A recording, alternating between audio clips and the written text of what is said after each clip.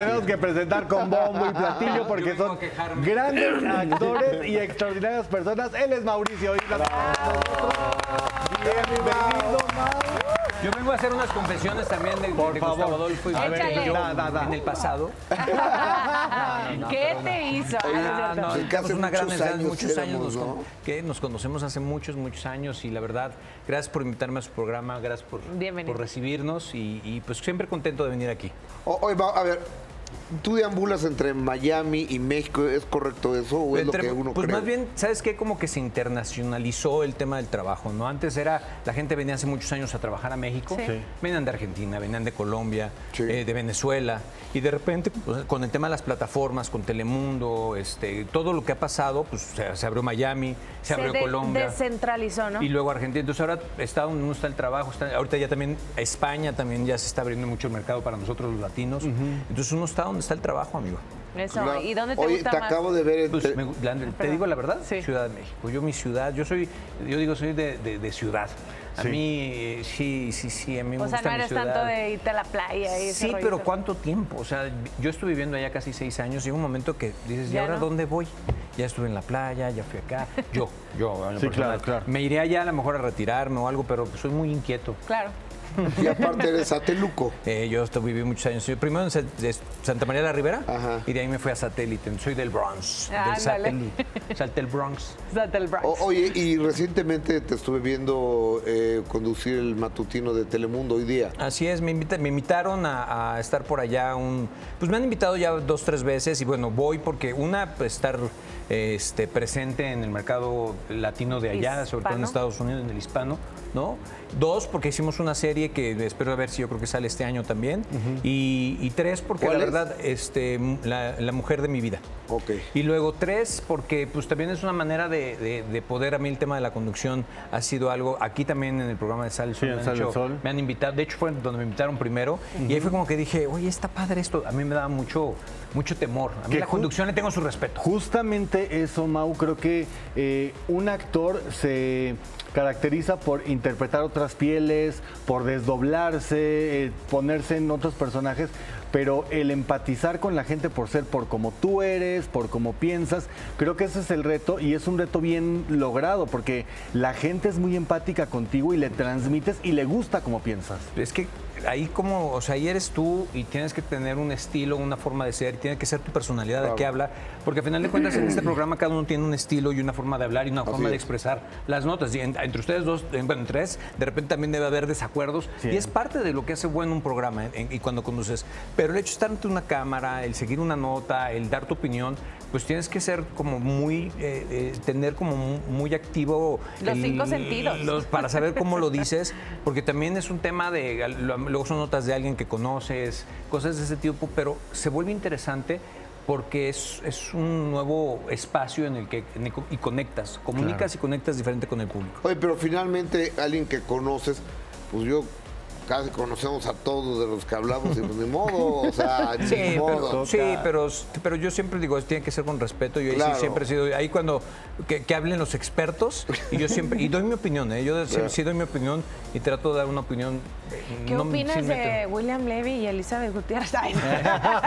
Pues mira, es- ese es un asunto, está bien fuerte, por ejemplo, ¿no? es como te digo, hay asuntos en los que uno no se mete porque cuando hay temas legales, cuando hay este tipo de llamadas, es un tema que lo están viendo en Estados Unidos y allá las reglas son muy diferentes.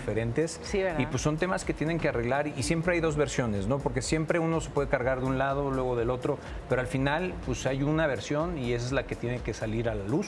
Y pues ambas partes tendrán que ver sus puntos, entonces, y es algo donde pues, ¿qué opino? No, No te creas, yo te metí, te lo- perdóname. No, pero te lo contestas y son cosas que de repente dices, pues no tengo nada que decir. Sí, está fuerte. O- oye, por ejemplo, Del Fofos. Ah, no. no. Ay, Sí, ¿qué ¿qué, opinas? qué pasa co- con, un actor como Mauricio Islas, que de repente tiene un montón de años estando en el círculo de los protagónicos de historias y de telenovelas?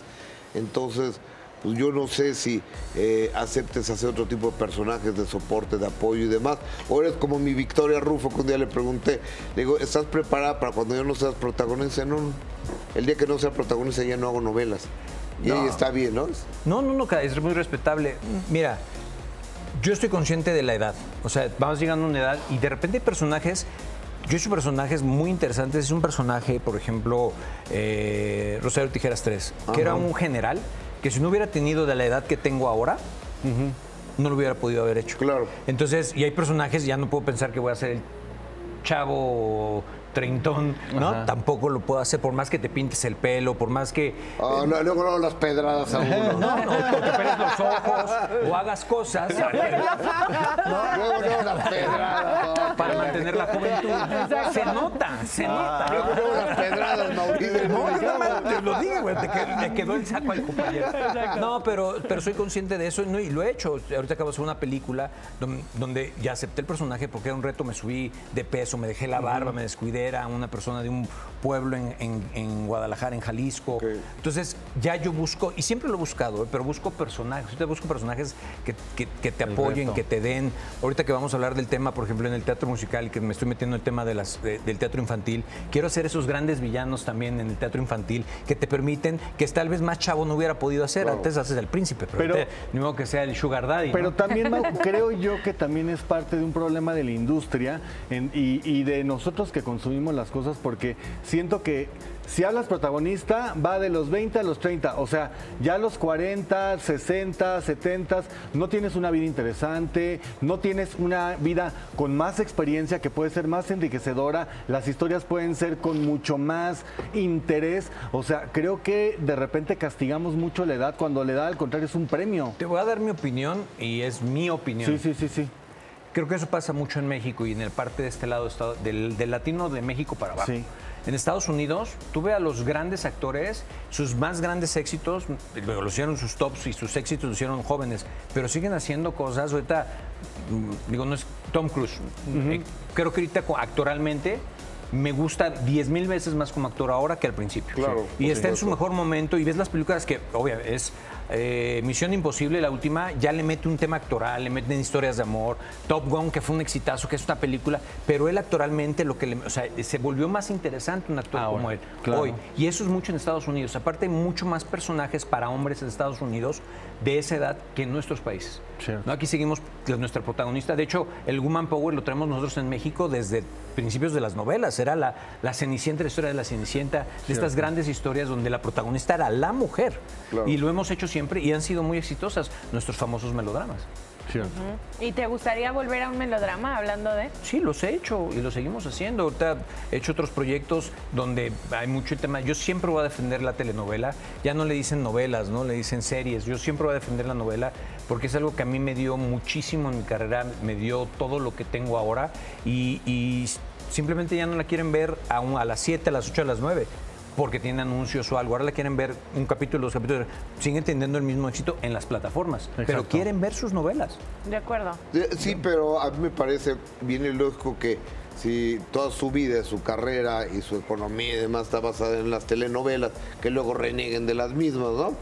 Oh. Digan, es que yo ahora ya estoy en otra etapa, hago series. Ay, Está bien, yo creo que tiene que ver, o los que por ejemplo dejaron de hacer televisión por irse al cine y a las series, que es un grupo interesante. A mí me ha costado y me- en- en- entrar en ese grupo por haber sido el protagonista. A mí me tocó las novelas exitosas de este país. Me tocó todavía una etapa donde la telenovela, yo llegué a tener, Amor Real tuvo 46 puntos Sí, de rating. claro. Sí, 46 sí, para puntos es de rating. que ya no vamos a ver nunca. Jamás. Entonces, Sí, sí. pues vienes de esa generación, pues, y trabajé con mi querida Edith, que en paz descanse, Adela Noriega, Lucero. O sea, entonces, a pesar que soy tal Y vez. después de una- Amor Real, que pelas para que pelas Amigo, hay gallo que buscar, para, hay que buscar, hay que arriba, buscar. ¿verdad? Hay, hay que estar donde lo No, y quieren te a uno. acuerdas del Claro. escandalazo que Sí, el gran bueno. escándalo para las nuevas generaciones. El primero que siendo exclusivo de Televisa, pela gallo para, Para Telemundo, ese va- es el señor Mauricio. Con demandas y Con sombreras. demandas y patadas y demás. Y aquí estamos, felices. no pasa nada, ¿no? Trabajando, Todo- todo pasa. produciendo, actuando, siendo papá, siendo marido, siendo hijo, siendo, estando feliz y, y- y produciendo O- y o- o- pues estás produciendo una obra de teatro. infantil. ¿Y ¿Te parece que te quedes, hacemos una pausa y platicamos de, Yo feliz. de la obra? Feliz. Venga. Y, y que pase bella, ¿no? También. Luego me dices, "Don, ¿qué tinte usas, por favor? Eh, este, pues, se quedó el señor Mauricio Islas y nos da mucho gusto dar la más cordial de las bienvenidas a la Bella hacer un papel de Bella y aparte Bella, Paola Escalera, bienvenida. bravo. Nuestra bella. Y también al señor Farid, director y Productor. actor y productor de socio de Islas, el señor Farid Karam. Bravo. Muchas gracias.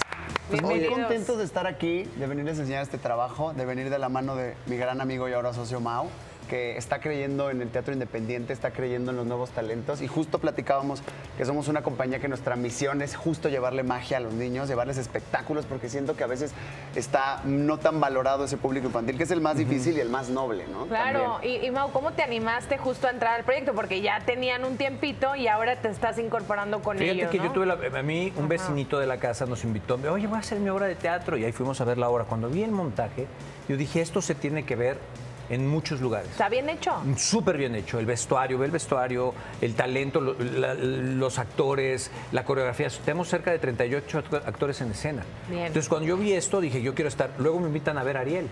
Y dije, no sé qué, entonces me junté con Farid y le digo, ¿qué hacemos? Me quiero asociar contigo, ahí quiero inyectarle, vamos a hacerle, vamos a entrarle. Mi hijo ahora le va y nos asociamos. Y la idea es montar más obras, hacer giras.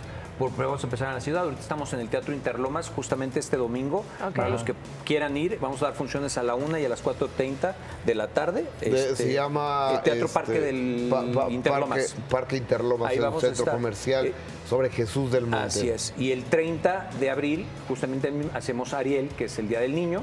Y luego vamos, queremos hacer Guada- este, Guadalajara, Puebla, Querétaro, pero aquí mismo Satélite, eh, Atizapán, eh, eh, Cuautitlán Izcalli, o sea, Oye. hacer como una gira aquí. Pero Bien. que aparte, yo en la mañana lo estaba viendo con Sale el Sol porque me tocó venir al foro, pasar y, y ver el musical y realmente los vestuarios están espectaculares, se ve una producción... Impresionante. Es que se ve una producción que no estamos acostumbrados a, porque cuando bien dicen infantil, pues de, o de cartón o no tan bien hecho, y aquí se ve a detalle, o sea, sí se ve una evolución dentro de producciones infantiles. Hemos ido evolucionando y sobre todo ahorita que estamos muy orgullosos, tanto Mauricio como yo, creo que hablo a título de los dos, de tener a Paola Escalera, que es un monstruo en el escenario, Sí, que llevaba buscándola yo mucho tiempo y era como de mis goals, que decía, porque ella me conoció cuando yo apenas empezaba, le dije, yo un día te voy a conseguir de bella, algún día va a alcanzar. O- oye, y canta Bella, ¿no? Sí, claro. ¿Y, y no la traes? ¿Mandé? ¿No traes esa interpretación de Bella? Para que lo regales un poquito. Una sí, el corito, ¿necesitamos algún micrófono A ver, no? el micro, por favor. Claro, no, no ok. sabes. No veníamos, pero yo te hago segunda. No venía preparada, pero. Y justamente esta, esta compañía es de mucha, mucho corazón. Justo Ma- Mau ha entrado y no solo en la parte de apoyarnos, sino se ha puesto a pintar escenografía, para colgar cosas. Perdón. O sea, el Mau le entra Le de entra, todo. ¿no? Es Ya. un Es gran compañía, socio. Y qué bueno porque se la sabe. Claro. Sí. No, hasta, hasta de vestuarista le hace.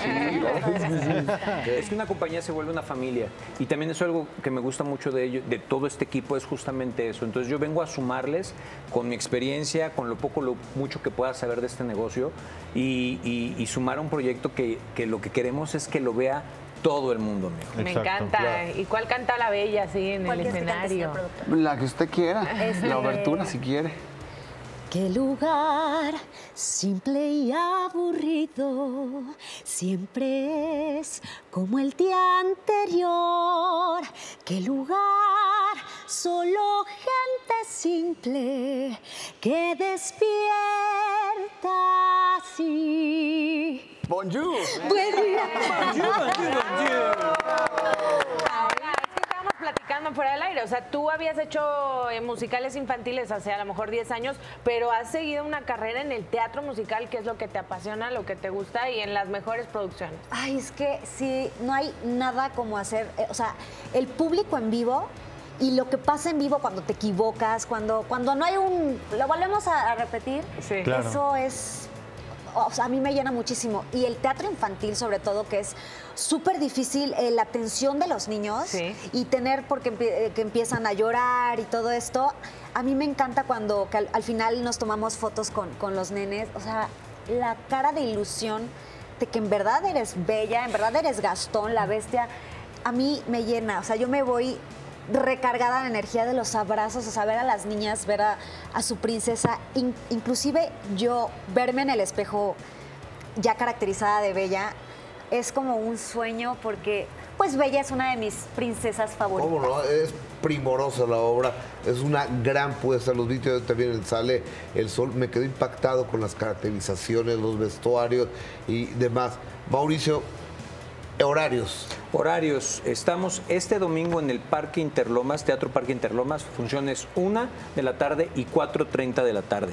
Y luego estamos el 30 de abril, porque aparte es el mes del Día del Niño, el 30 de abril, que es el mero día, va a haber una comida show, va a haber una función a las 3 de la tarde y otra a las 5.30, pero ahí vamos a hacer Ariel. Y luego, pues nos van a estar viendo recorrer varios teatros por la Ciudad de México, así que cuando vean Bella el musical o Ariel el musical, somos nosotros. Hay que, hay que hacer gira dentro de la misma Ciudad de Sí, México claro. porque es demasiado grande. Gracias por estar aquí. Mati, Gracias. Gracias. Gracias.